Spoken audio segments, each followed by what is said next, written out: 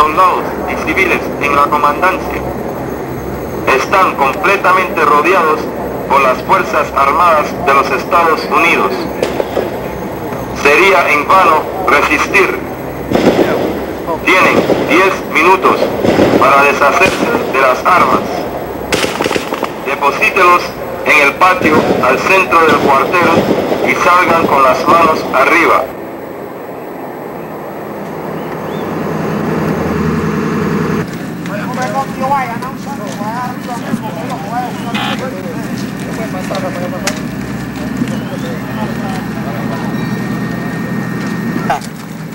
¡Guápeme! Que va,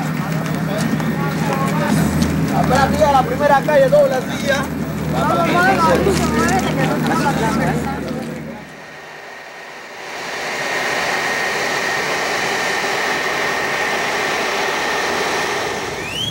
Gently, we're asking him a favor. Si no es verdad, usted lo puede comprobar ahora. Yo, yo estoy, estoy echándome algo que no. Mira, en el edificio 8 está en la central telefónica, que es donde contestan for, for, eh, Fuerte Gulli.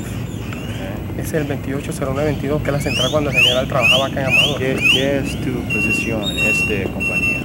Yo no soy compañía, yo soy de la comandancia. Soy- yo soy sargento. Sargento. ¿Y ¿Qué, qué posición? Yo soy eh, ¿Operaciones? ¿Qué? transcribía, transcri, transcriptor. Transcriptor. Mar- Marantz, Marantz.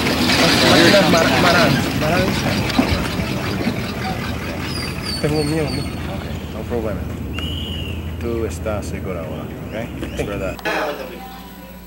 He said he's got the airline tickets for Puerto Rico.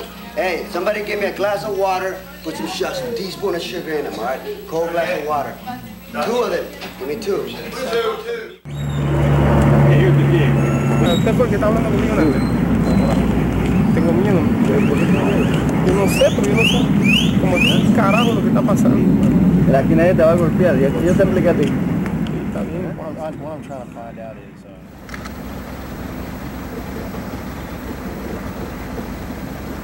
Anytime you get...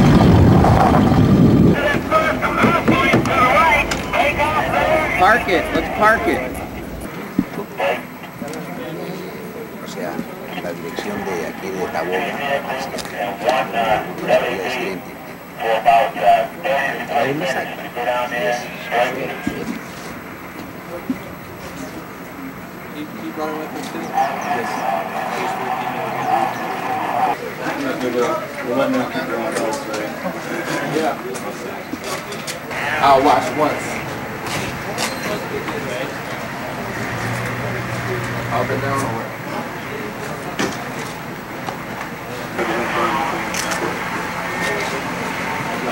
Lo dejamos allá en la, la suera.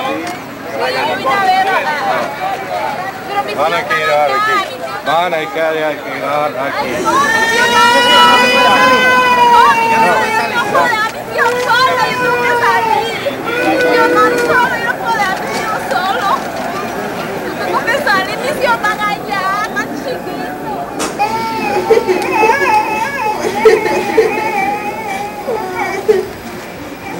Como presidente de la República, tengo varios anuncios que hacer. En primer lugar, este gobierno se denominará Gobierno Democrático de Reconstrucción y Reconciliación Nacional. Como lo prometí en, la campaña, los vicepresidentes de la República jugarán un papel muy importante en la administración pública. Por eso, los primeros anuncios que hago de ministros de Estado, anuncio el nombramiento de los dos vicepresidentes, a saber, el doctor Ricardo Arias Calderón será el ministro de Gobierno. el gobierno democrático de reconstrucción y reconciliación nacionales, el espíritu de libertad y de respeto a los derechos humanos que esperamos que muy pronto pueda prevalecer en todo el territorio nacional.